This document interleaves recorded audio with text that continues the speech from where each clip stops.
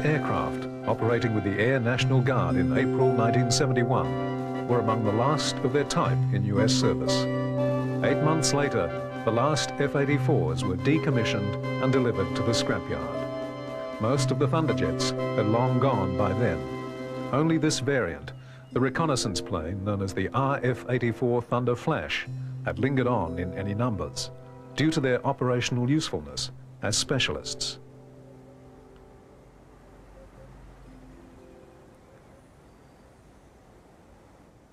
By 1971, the planes were showing their age. Many had been grounded due to structural fatigue, and those that still flew required constant monitoring and a heavy maintenance schedule. The last of the RF versions had rolled from the factory in 1957, and they had led very busy operational careers.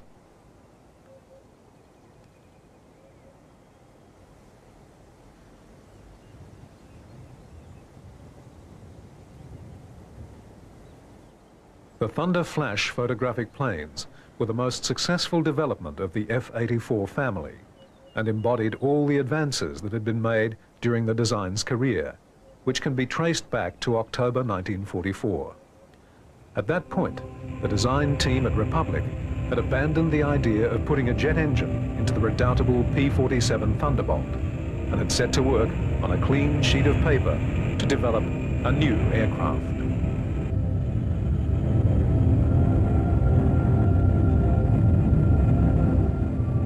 United States had found itself confronted by the arrival of new German and British jet aircraft. In the next few years, the US Army sponsored a feverish effort to catch up. The Bell and Lockheed corporations developed the first two US jet aircraft, and the Lockheed P-80 was ordered into production. Meanwhile, the Republic team had devised a sleek and extremely clean design built around the new axial flow engine developed by General Electric. The achievement was impressive, and the Army ordered commencement of work on three prototype planes as the XP-84.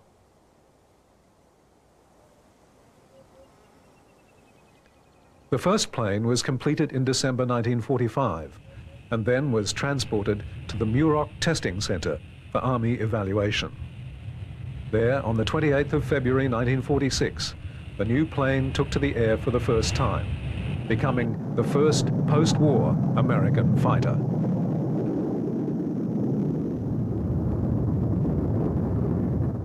The design was fairly conventional, with straight wings employing the so-called laminar flow profile. The plane was of all-metal construction, with the wings mounted low on the fuselage. Under the teardrop canopy, the cockpit was pressurized and contained an ejector seat. Though not technologically adventurous, it was an aircraft with classic lines, incorporating most of the proven ideas of the day.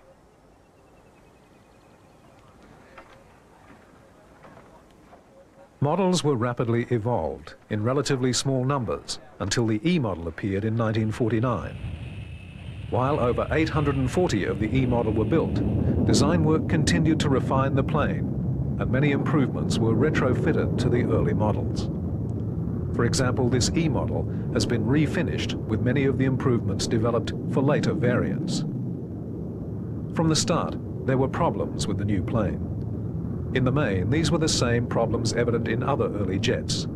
They reflected lack of knowledge about the needs and potential of the new power plants. In its later career, the plane evolved gradually until it looked radically different from the trim 1946 prototype. The most obvious flaw in the design was the straight wing, and go-ahead was given to develop a swept-wing version. The other major flaw was outside the designer's control. The Thunderjet was badly underpowered. All the early jets shared the problem of low power, and required excessive runway to take off. Under full load, it was safer to employ rocket-assisted takeoff rather than hope the plane would be airborne before it ran out of runway. All too often, planes did run out of takeoff room, and hundreds of pilots around the world wrote off their Thunderjets in that way.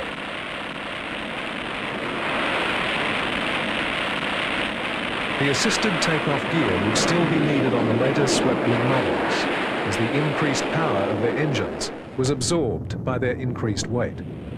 But development was slow, and as an interim measure, an improved straight-wing version was put into production. This, the G model, was built in greater numbers than any other version, 3,025 being constructed. The plane had originally been designed as an interceptor, relying on six machine guns, four in the nose and two in the wings. The Thunderjet had superseded the Lockheed P-80, which was designed two years earlier. However, with the speed limitations imposed by its wing and underpowered engine, the F-84 was soon itself supplanted as interceptor by North American's F-86 Sabre. With this rapid succession of models, the Army found itself with a variety of planes to allocate specific tasks.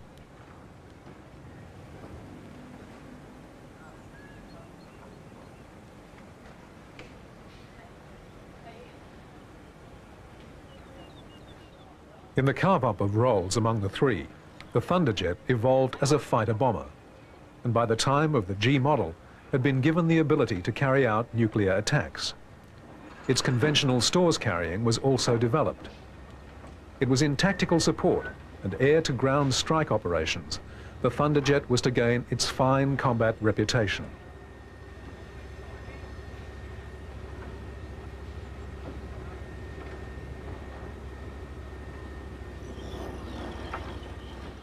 Its low-mounted wing was an asset in this transformation, allowing easy loading of arms with minimal equipment.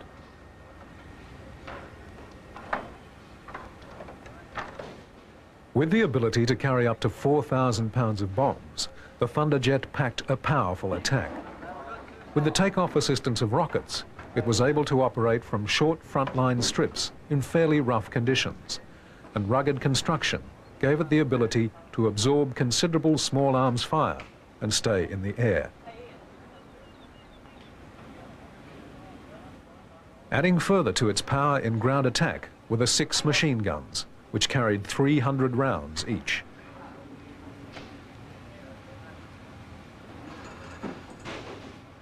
There was provision to sling up to 32 5-inch rockets under its wings and fuselage, reflecting World War experience attacking tanks. As a further variation in strike power, the plane could deliver a deadly load of napalm.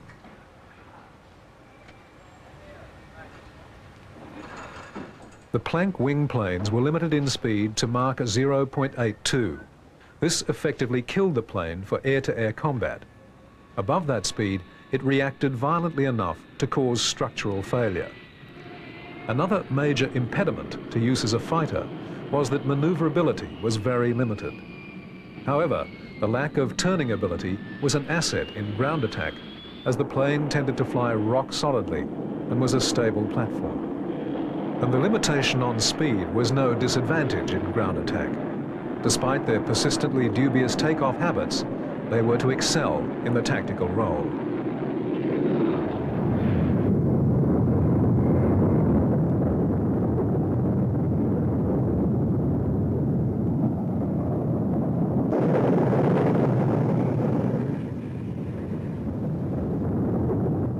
The original production version, the B, had been a very basic aircraft, little advanced on 1945 piston engine fighters.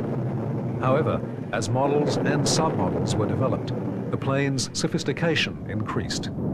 By the G version, the planes had gained radar-assisted sighting, an autopilot, and revised electrical, fuel, and hydraulic systems, along with a host of other improvements.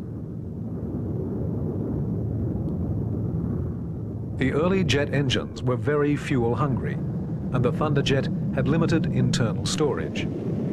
The addition of wingtip tanks boosted capacity, but the range of the early planes was limited to 1,200 miles or so.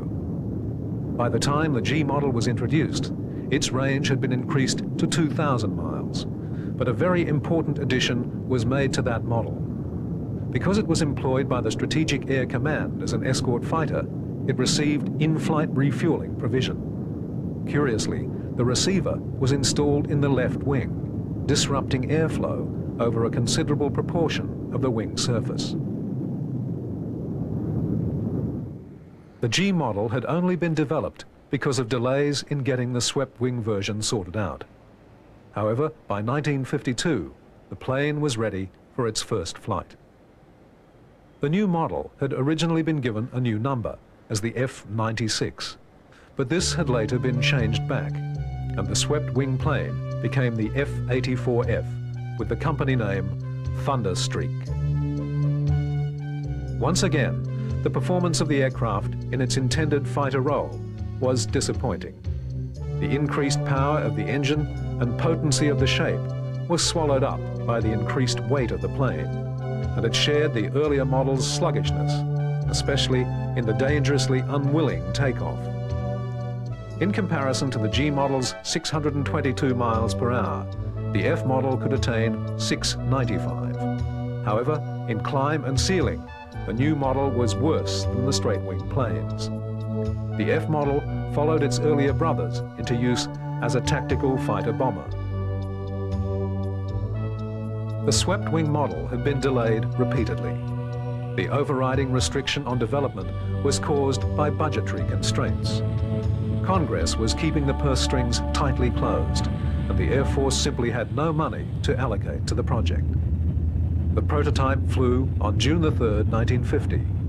It was immediately obvious that a more powerful engine was needed. But there, the project stalled, and it was to take a massive stimulus to reinvigorate the development program.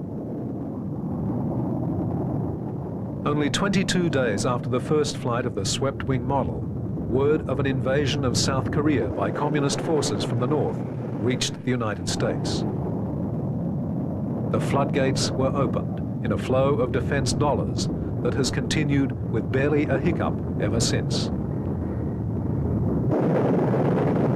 Although many countries promptly disbanded their wartime armies, other countries continued to maintain forces so large that they posed a constant threat of aggression.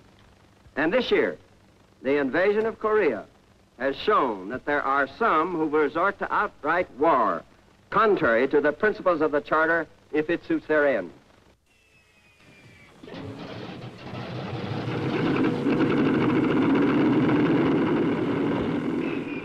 When war in Korea broke out, the United States Air Force was a mere shadow of the mighty machine of victory that had existed five years earlier. The South Koreans simply did not have an Air Force. They had 16 aircraft, all trainers or liaison aircraft, with not a gun or bomb rack between them.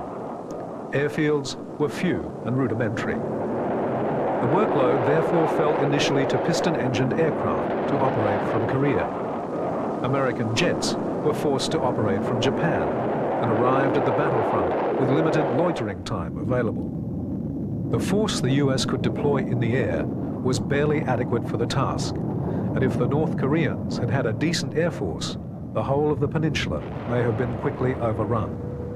In fact, the North had 62 light attack planes and 70 outdated fighters. This force was very promptly destroyed, and the Americans were able to first slow and then stop the northern advance. Heavy bombers were employed in a combination of interdiction and strategic raids, which helped to paralyze the northern effort in combination with Navy aircraft and the few types the Air Force could deploy usefully from the limited Korean airstrips, the US gained air supremacy and was to maintain it for most of the following conflict. Given the initial weakness of the ground forces, it's clear that victories in Korea in late 1950 were almost solely due to the American aircraft.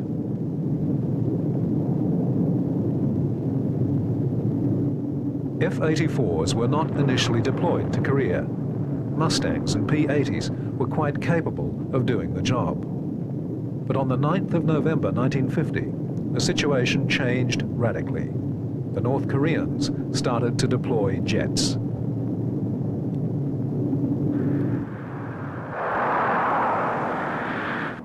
Within days, the United States was forced to deploy more modern aircraft to the conflict. The Thunder jets available were straight-wing D and E models, and they were never the equal of the MiGs. However, the F-84s, though not capable of downing the speedy Russian designs, were just fast and maneuverable enough to usually avoid trouble. Less than a month after the appearance of the MiG-15s on December the 6th, the first F-84 combat missions were flown. The planes had been shipped to Japan, where the damage from salt corrosion was remedied, and along with F-86 Sabres, were committed to the battle.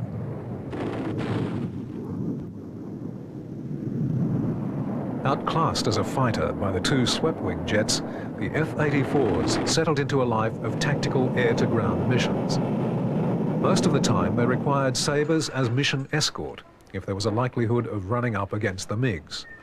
The Russian planes were simply too fast for the Thunderjets to cope with.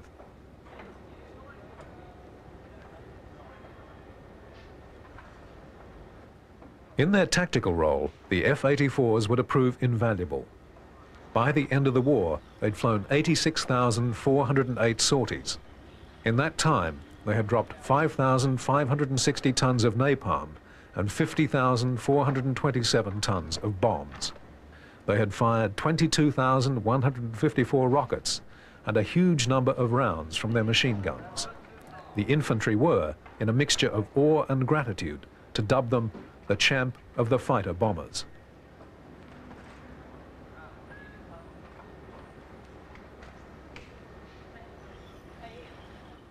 Nine MiGs were officially credited as shot down by Thunderjets, and another 96 were listed as probably shot down or certainly damaged. Against this, the MiGs shot down 18 Thunderjets and damaged many more. Anti-aircraft fire was to claim a greater tally of the F-84s. 135 were shot down by ground forces.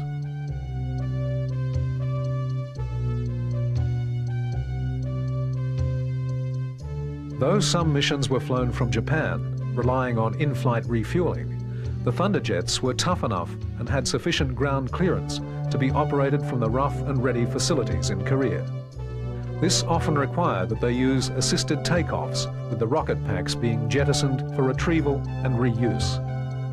This was less than ideal, as in squadron formation the rocket smoke was so dense that only the leaders could see, and the following planes had to take off on instruments. The routines of briefing, preparation, takeoff and attack became familiar. The F-84s took on a great load, not only in ground support at the front line, but in interdicting supplies, attacking reinforcements and destroying bridges, railways and power stations. In the last of these tasks, they actually operated as a strategic force, a reflection of the way in which they'd established themselves as trustworthy, rugged and deadly. They had proved themselves as a primary weapon in the Air Force's arsenal.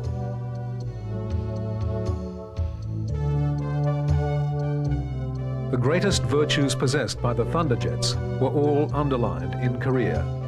They were, especially in comparison to other early jets, easy to maintain. They were also stable and effective attack platforms, capable of withstanding considerable damage. Their performance was simply workmanlike, especially if compared to their Republic relatives, the P-47 of the Second World War and the great F-105s, which played such an important role in Vietnam. However, despite their limitations, they were the most effective jet attack plane in the Air Force during the Korean conflict. The Thunderjet starts to emerge from the cloak of its failings and be revealed as a very important and successful aircraft. Its greatness has to be seen in the context of the era. Many early jets were far less effective and successful than the F-84. Their contribution in Korea might best be described as worthy. But the reason the tedious, difficult, repetitive and dangerous tasks of the conflict fell to the Thunderjets is simple. They were capable when all around them other types failed the test of combat.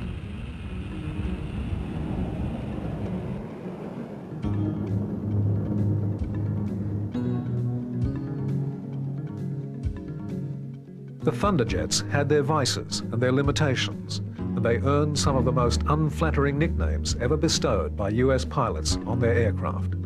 These nicknames included Groundhog, in reference to their unwilling and sluggish takeoff. During Korea, the crews amended their attitude to include a greater respect for the plane's virtues, and the name was shortened to Hog. Still perhaps unflattering, but far more affectionate.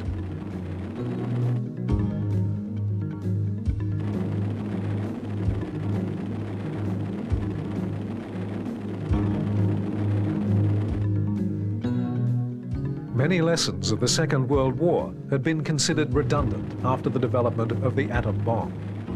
Some strategists proclaimed that conventional warfare would never be fought on a large scale again. Too soon, the Russians also had the bomb, and the usefulness of atomic weapons came into question.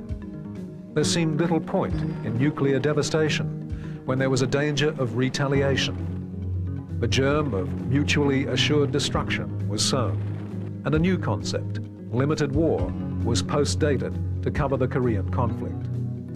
In that limited war, the Thunderjets were one of the most effective weapons available.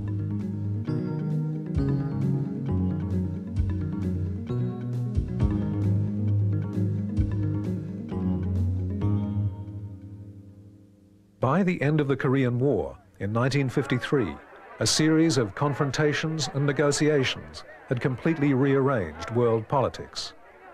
This process was formally culminated in Paris on October the 23rd, 1954, with the ending of the occupation of West Germany.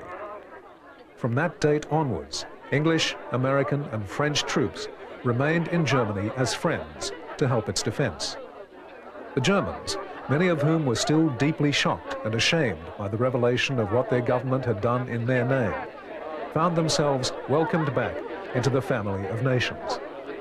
On the 13th of November 1956, another step in this process occurred with the handing over to the German Luftwaffe of their first combat planes since the end of the Second World War. The planes were F-84F Thunderstreaks. Eventually, the Germans would deploy five full wings of Thunderstreaks making them the largest user of the planes outside the USAF.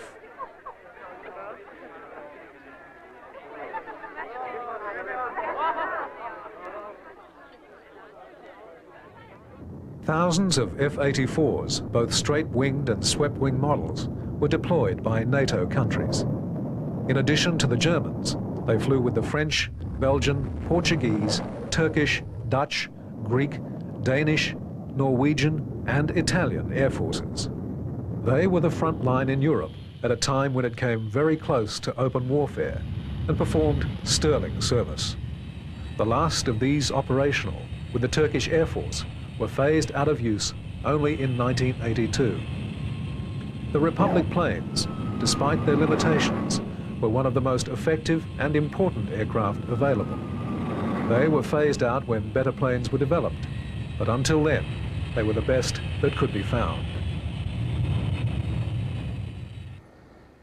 One other version of the F-84 was to be made in significant numbers.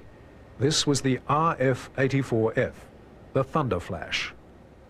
Korea pointed up the need for a high-speed photographic reconnaissance aircraft, capable of doing the job and avoiding interception by the MiGs. The new photo plane would need a longer range and much higher speed than the aircraft then being used for the job. The second swept-wing prototype had already been constructed with a closed, pointed nose and wing intakes, though these developments were never incorporated into the fighter version. It was on the basis of this airframe that the Republic designers started work on the reconnaissance aircraft. In the end, it was the most successful production aircraft of the whole F-84 family. The prototype RF-84 took its first flight in February 1952, and by then the design had been changed considerably. The wing intakes and wing surface had both been increased, and the neat pointed nose had been replaced with a blunter affair which could house six cameras. After successful testing, the plane was put into production and 718 of the model were constructed.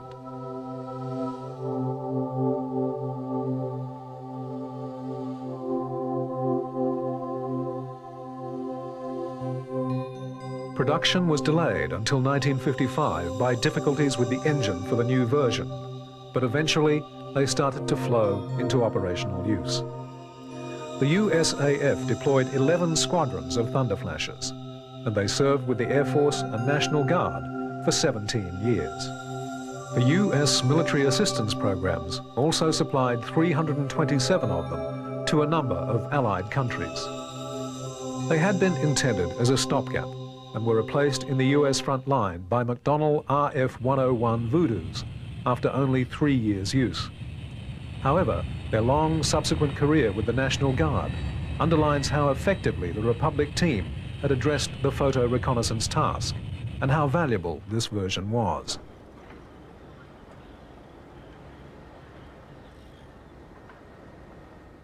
As with all the F-84 family, maintenance and ground operation access was simplified. This was not only an important virtue of the type, but was an influence on later designs.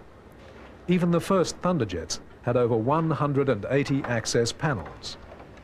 The entire tail after the wing could be removed to simplify servicing the engine.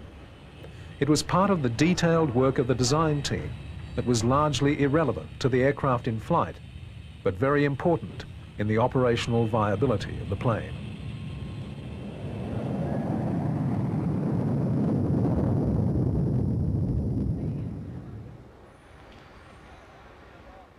Among the milestones posted by the Thunderjets was their time in use with the USAF's Thunderbirds, the display team. It's uncertain whether the team took its name from Republic's plane, but what can be said with certainty is that the first aircraft employed by the team on its formation in 1953 were F-84s. These were the straight-wing F-84Gs, and the team flew with them for two years.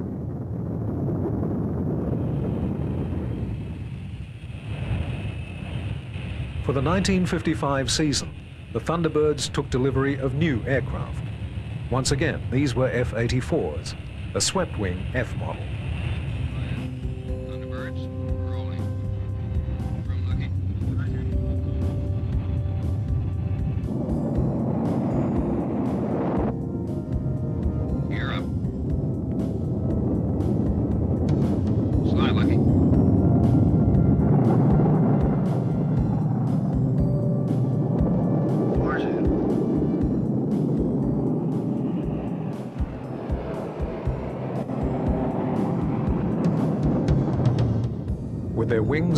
Five feet apart, the planes look as though they're touching. This type of formation flying, with a plane as unmaneuverable as the early jets, is extremely dangerous.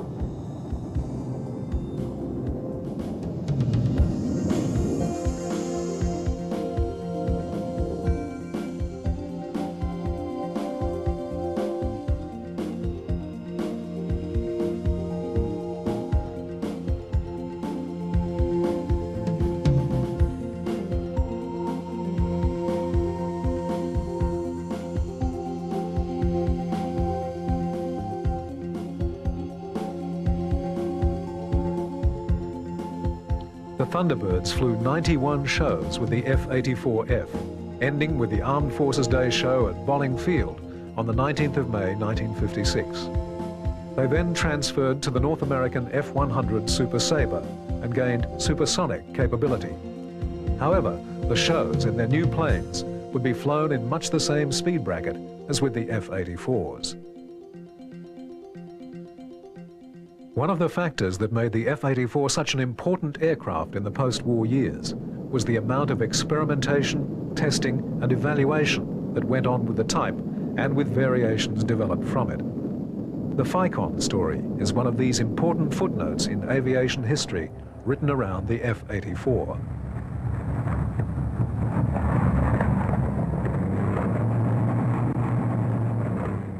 The name FICON is derived from the term fighter conveyor, and the project was a response to the need for aerial surveillance.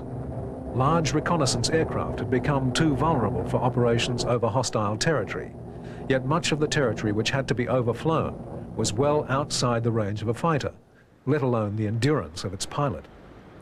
The scheme was simple in conception, but was far more complex to carry out. In effect, a B-36 bomber acting as a mother ship would carry the photo reconnaissance fighter for all but the dangerous part of the mission, launching and retrieving it in flight. A series of attachments, both for the bomber and the fighter, were developed before a reliable system was reached. It was difficult and highly dangerous.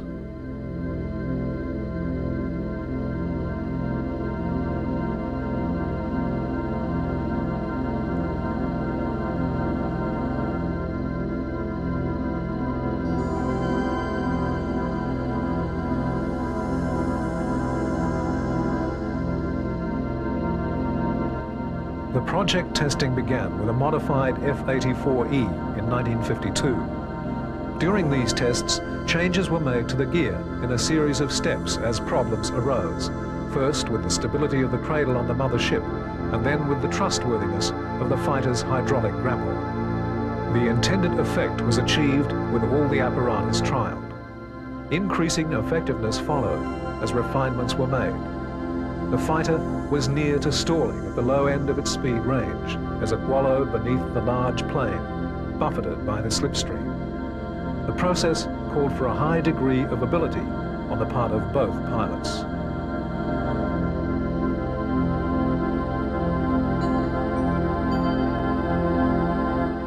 The aircraft intended for operational deployment in the job was the RF-84F, modified and redesignated the RF-84K. Tests with this version commenced in 1953, and on the 30th of March, the prototype made its first successful docking.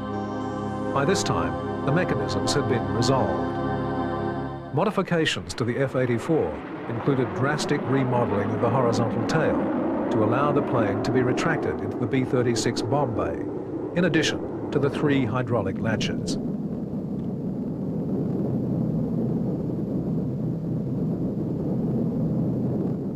Testing of FICON continued until 1955, and production aircraft were then deployed. The 91st Strategic Reconnaissance Squadron, based at Larson Air Force Base, received 25 of the specialized RF-84Ks and were teamed with a squadron of modified B-36s.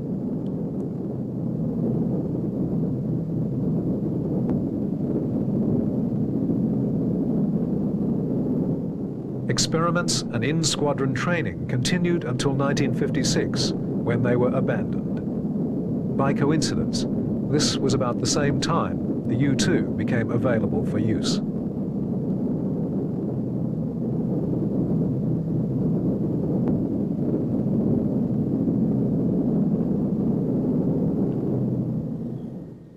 One of the nightmares that beset planners after the Russians had developed their own atomic weapons and delivery systems was that airfields could now be totally destroyed, along with all their aircraft, in one hit.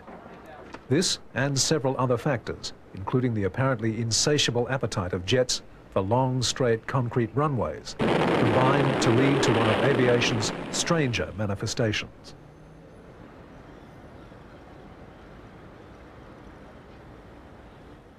This was the system known as Zero-Length Launch, or ZEL. This scheme aimed to shoot manned and nuclear-armed aircraft off the back of trucks or out of concrete bunkers.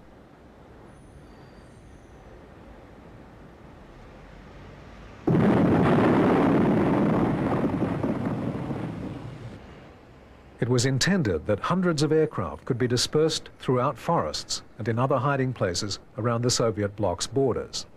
These planes could be ready, fully armed, to respond immediately to any Soviet attack. Another scheme would have placed interceptors on similar apparatus in hardened concrete bunkers to respond to any incursion by Soviet strategic bombers.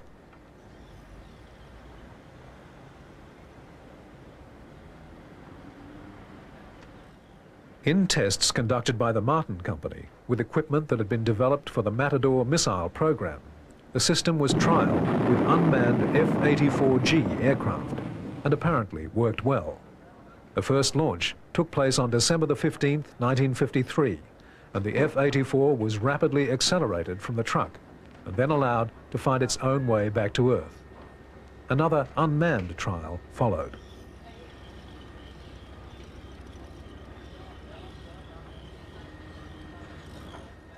The system relied on the use of very powerful solid fuel rocket boosters attached directly to the aircraft.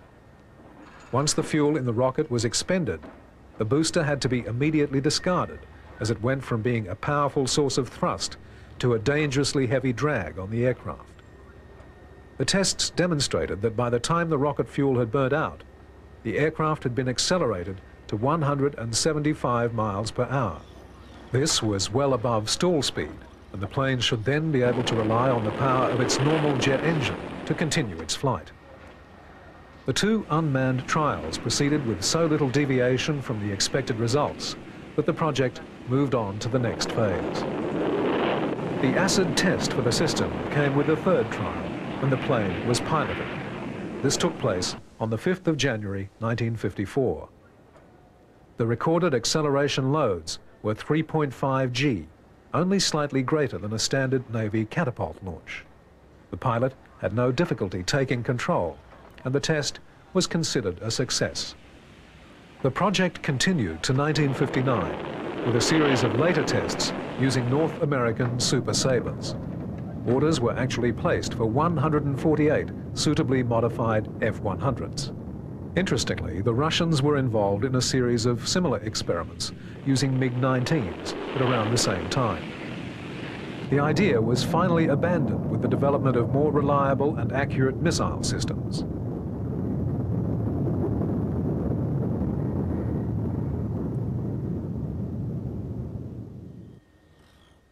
Experimentation with the F-84 continued to throw up a fascinating variety of variants.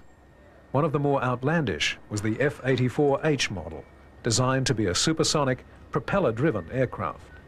This was truly a very different plane, and originally was designated the F-106.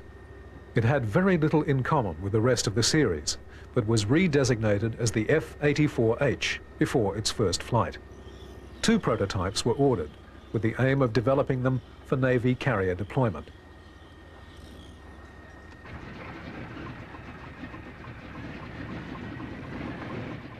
The aircraft employed a turboprop and a series of propellers were studied for the design. Its first flight took place on the 22nd of July 1955 and passed with no real hitches. However, the plane failed to live up to expectations and did not actually pass Mach 1 it managed to reach 670 miles per hour, which made it the world's fastest propeller-driven aircraft, but was useless for the Navy's purposes.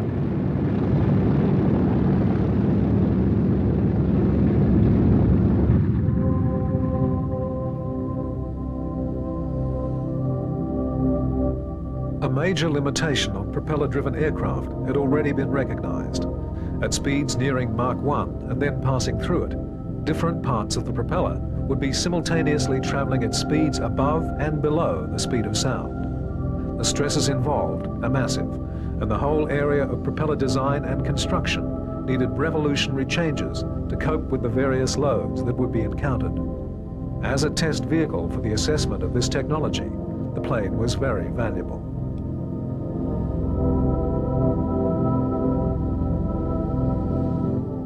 Experiments with the F-84H proved the ruggedness of the three-bladed propeller and the soundness of the engineering of the power plant and aircraft. However, with the introduction of steam catapults, angled decks and in-air refueling, the Navy was able to abandon the project and employ true jet aircraft. This left the US Air Force to pursue the project as a matter of basic research and development for its own purposes.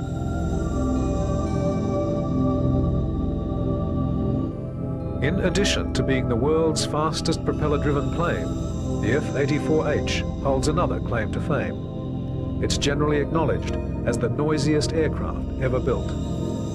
The engine was a large Allison unit, developing nearly 6,000 horsepower, but this was only a minor factor in the din of the aircraft. What really made the racket was the propeller. At high revolutions, even in ground maneuvers, the propeller tips went supersonic. This meant that the plane emitted around 900 sonic booms per minute, and these combined to make an astonishing row. The noise was such that ground crew involved in the test series suffered malaise and nausea if they were anywhere near the aircraft during taxiing run-up or takeoff. This was true even if they wore earplugs. The effect on a carrier's deck of a squadron of such aircraft preparing for takeoff would undoubtedly have been bad for operational efficiency. The plane and supersonic propellers were quite sensibly abandoned. Perhaps the most outstanding derivative of the F-84 was the XF-91 Thunderceptor. This 1946 design stands as one of the most amazing experimental aircraft of its era. It was fitted with four rocket chambers in addition to a powerful jet engine. It was the first US combat plane to break the speed of sound in level flight. The aircraft wings pivoted to give a variable angle of attack. Together with full-length slats, this gave the plane a very low stall speed for the time and allowed in-flight maneuvers that remain unique. The wings themselves were another radical feature, tapering in from the tip to the fuselage. This reversed the effect of wingtip stall, turning dangerous pitch up into easily controllable pitch down. If it had been fitted with the intended power plants, it was expected to fly to Mach 2, but even with the limited power of the available engines, it was capable of Mach 1.2. Though clearly the most advanced design of its era, it was not proceeded with on the basis of cost. Republic was a very ambitious company, committed to advanced design, and another of their projects, again not put into production, was the Mach III XF-103, a delta wing which used both a turbojet and ramjets. This plane had no canopy as such, the pilot being totally enclosed. An F-84 was employed to test periscope systems for the XF-103 pilot, and this strange mutant Thunderjet established that the system could be made to work. In Air National Guard hands, the F-84 persisted for a long and uneventful career, still plagued by its groundhog takeoff, but trusted and respected by its pilots. While they spent most of their time with the USAF as a second division aircraft, for many nations they were front line. For many of these air forces, the F-84 was persisted with not only because of budgetary constraints for the purchase of replacements, but because they worked well enough to deserve their attention. The F-84 slipped into history virtually unlamented. Their reputation was tarnished by development difficulties and the fact that they were always underpowered. However, to dismiss them is to overlook their achievements, particularly in Korea. They deserve a reassessment and recognition of just how significant an aircraft they were.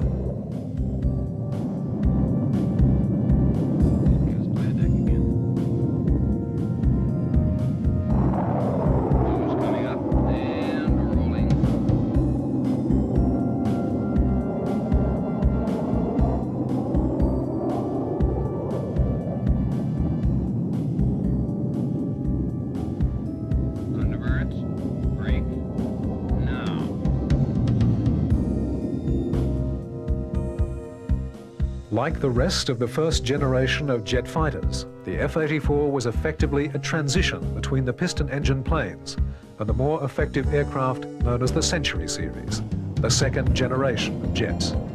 The Century fighters were more successful simply because they could draw on a wealth of knowledge gained in the careers of the initial series of post-war aircraft. Within the first generation, the Republic planes were outclassed by only the F-86, which itself was a later design and drew on the knowledge gained in the F-84's career. Okay, let's start moving in slow. 330. Hard turn to the right. The F-84 can be seen in hindsight to have had many virtues in an era when aircraft design had run into areas of great uncertainty. The problems of developing jet engines to deliver power and reliability were forced to one side by military considerations. The availability of even very limited jets had made propellers totally redundant.